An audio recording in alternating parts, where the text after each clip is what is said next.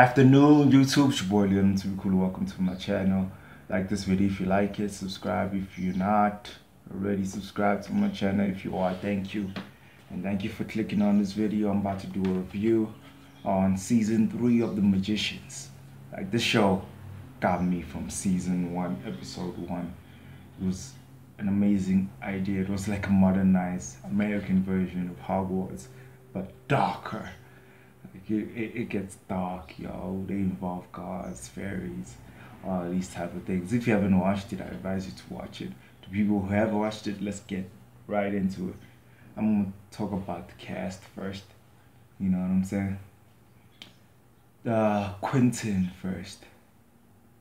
Quentin Q. That's what they call him, Q in the movie.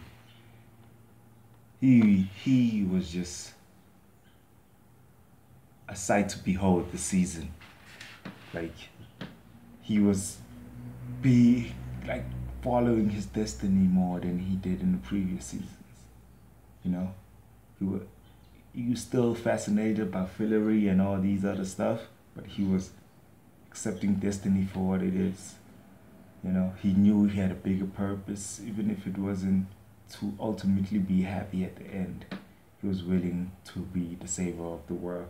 And we, we also got to see him as the beast for like an episode. Like, that was trippy. I really enjoyed seeing him portray the bad guy for once. Also, when he had that moment where he touched the key that shows you your worst self where you basically got a glimmer of all his regrets from season one to now. And it was crazy, all the things that that key says to you. And that other dude didn't even last long. He just touched the key for a few and just jumped off, got eaten by that dragon, that that water dragon. And I'm just gonna dive into Julia. Julia becoming a goddess was something else, yo. I mean, like she was kind of like our only tethered to magic for most of the season. She was the only one who could do spells and all that.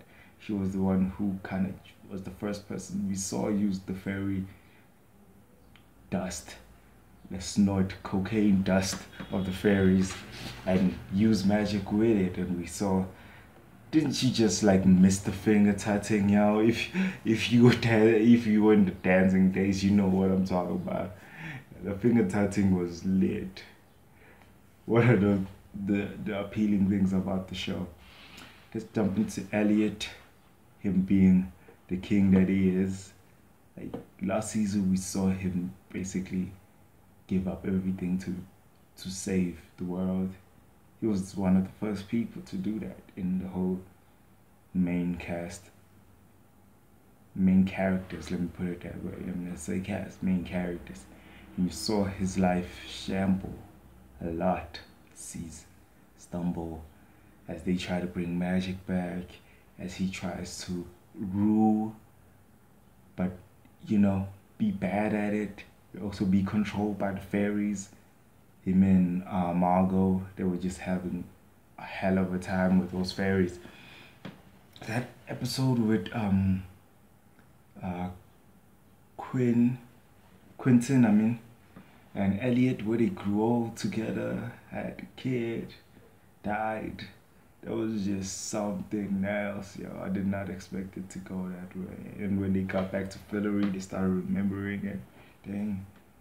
Like, I wonder why they didn't look for their kid. Maybe they just accepted it's just a different timeline. It's not real stuff like that. It was a trippy moment. And the fact that a creature is inside of Eliot at the end. Yo, that, that was crazy. Then we got Penny. We got two Pennies this season. The OG Penny from this timeline, of the show's timeline, who decided to stay at the library and be follow his destiny too, like Quentin, and be something greater, and you know, follow his destiny to the fullest like that was a big decision from from his part, yeah, because basically gave up Kady. Uh, Kady also had a hell of a time this season, yo. She went from trying to save Penny to being in a a mental hospital to breaking down to being the amazing singer she was in the musical episode, then to basically be mad that there's a Penny, but Penny loves Julia, and it was just a whole lot of trippy stuff. If you haven't watched the show, you should really get to it. Like, it's a mind fuck, and in a good way. You know, sometimes mind fucks are good.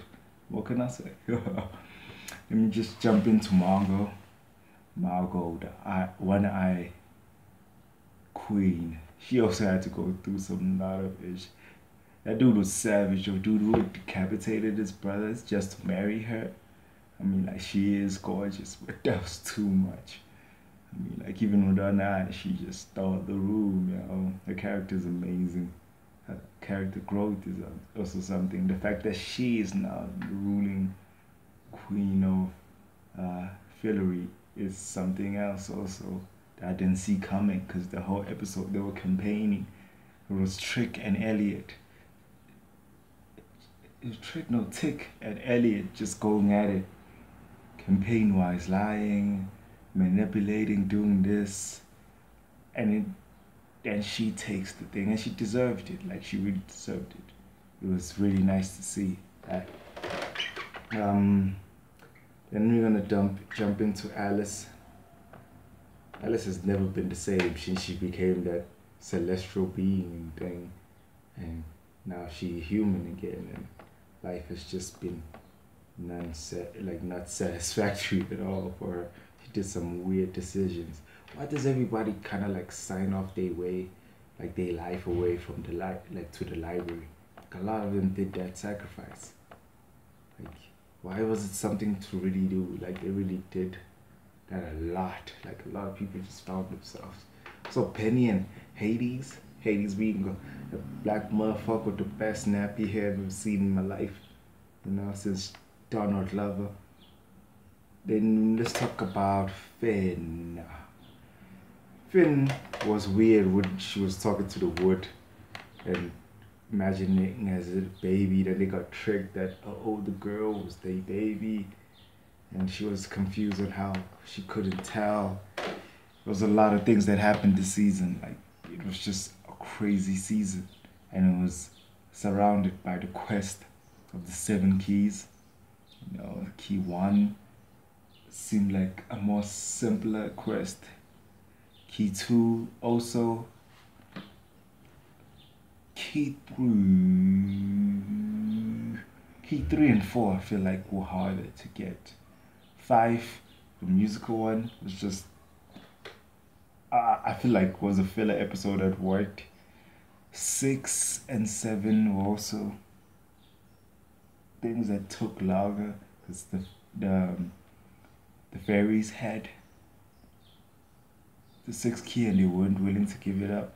Also, Allison's moment where she kind of like sabotaged the whole mission at the end, getting them all caught, making them all lose their memory was just another twist.